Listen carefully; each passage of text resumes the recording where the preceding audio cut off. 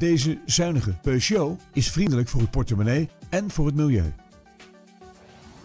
De aandrijving van deze auto komt voor rekening van een pittige benzinemotor in combinatie met een handgeschakelde vijfversnellingsbak. Op de accessoirelijst van deze auto vindt u onder meer airconditioning, een Bluetooth car kit en een boordcomputer. Omdat deze auto valt onder het Levenkeur Plus Occasion label, kunt u er verzekerd van zijn dat deze grondig is gecontroleerd.